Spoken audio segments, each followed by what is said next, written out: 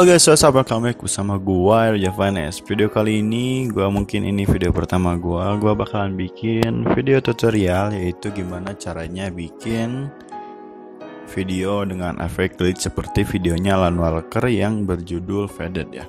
Di sini gue pakai Filmora karena emang ini video tutorial untuk Filmora ya. Sini gue pakai Filmora dan emang adanya cuma Filmora.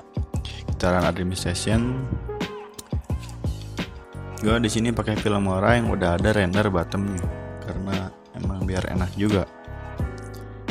Uh, buat kalian yang belum klik tombol subscribe, klik dulu tombol subscribe-nya. Ya BTW di sini pakai aplikasi Filmora Wondershare yang versi 875 buat teman-teman yang belum klik tombol subscribe klik dulu tombol subscribe-nya. Di situ ada tulisan subscribe atau berlangganan warnanya merah hit that button. Oke makasih yang udah klik tombol subscribe. Selamat datang di channel gua Edo Japanes oke kita masuk ke widescreen kita masuknya ke view future mode fitur mode ya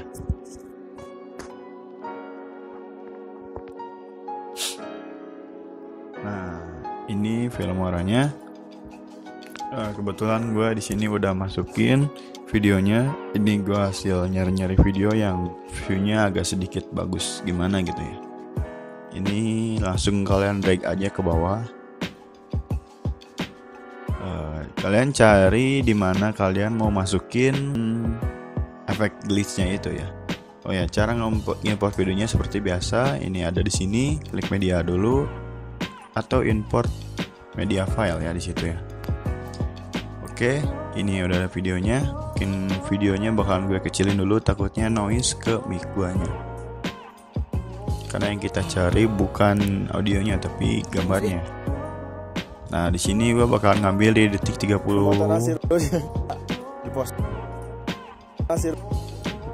Nah, mungkin daerah sini ya. 47 44.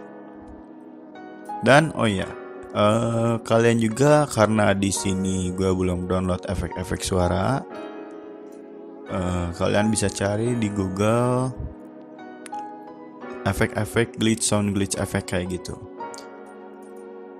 Di mana kalian video kalian biar tambah uh, menarik juga, kalian tambahin video efek atau sound efeknya ya. Nah ini gue tadi udah download free glitch free free glitch sound effect dan masukin aja. Kalian di sini juga cari yang uh, enak juga ya. Mungkin gue potong dulu videonya.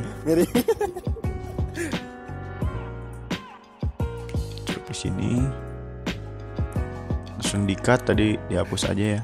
Ininya mungkin biar lebih enak digedein dulu.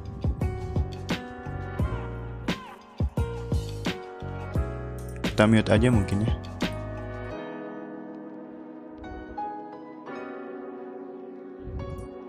oke cari dulu yang pas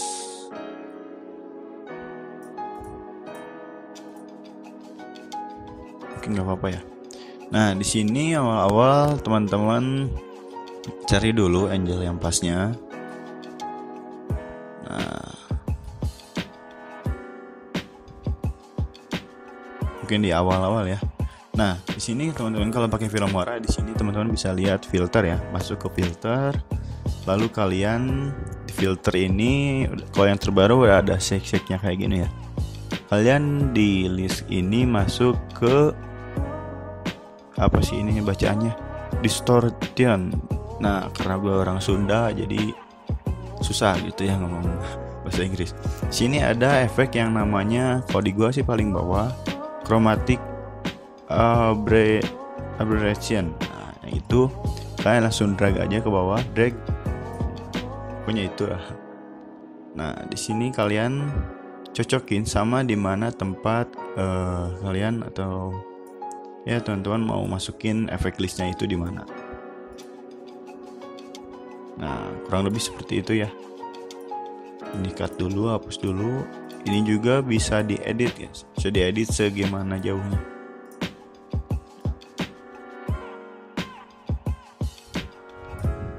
Mungkin ininya dipanjangin dulu ya. Bisa edit seberapa goyangnya gambar uh, R biru sama merahnya itu ya. Itu dari nol dulu kalau ini kan nah, nah kalau yang kalian mentokin ke 300 jadi si goyangnya tuh goyang betul goyang banget gitu beda kan ya? Mungkin gua bakalan terlalu pakai yang gede-gede banget juga. Mungkin bakalan pakai di 25 26 apa lah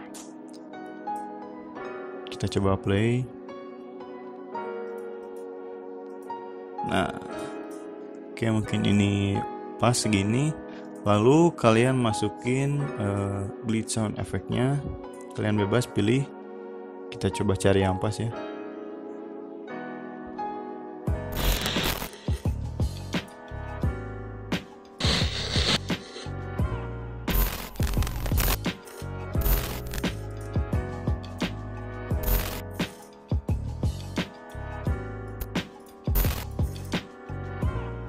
nah ini dia.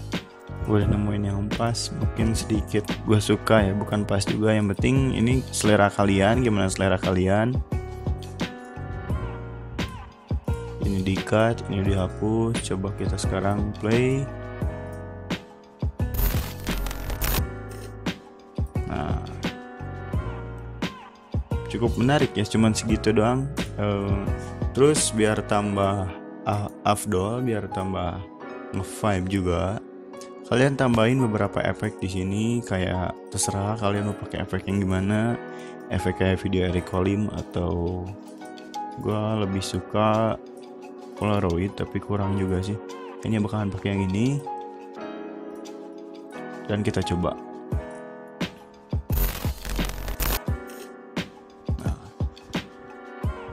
sebenarnya simple cuman uh, yang pakai film Filmora ini nggak terlalu banyak yang tahu kalau di film Filmora ada efek seperti ini. Oke. Okay. ini gua coba cut lagi.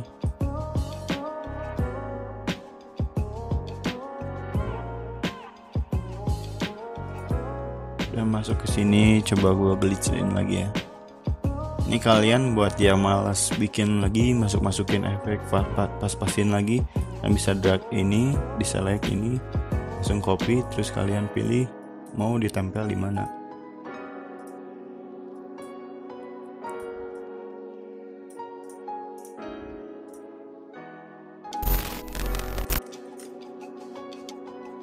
Cut aja mungkin kepanjangan juga. Kita coba render dulu Sebelumnya makasih banget yang udah nonton video ini. Gue bikin video tutorial ini karena channel gue lagi ditinjau. Kalau lagi nggak ditinjau mungkin, tapi gue juga emang berniatan bikin video tutorial sih sebelumnya. Coba kita putar di mode full screen ya.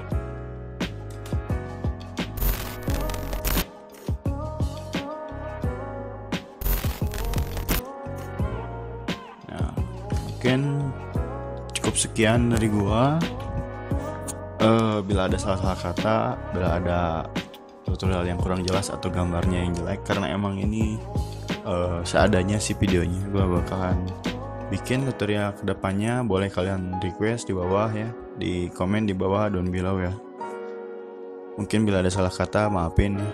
Uh, mungkin cukup sekian dari gua banyak yang yang banyak mungkinnya. Terima kasih udah nonton jangan lupa klik tombol like dan subscribe juga. Jangan lupa sekali lagi untuk support channel gua karena gua sedang membangun channel ini dan sangat membutuhkan support dari teman-teman. Gua Edo Javanes and cukup sekian dari gua. See you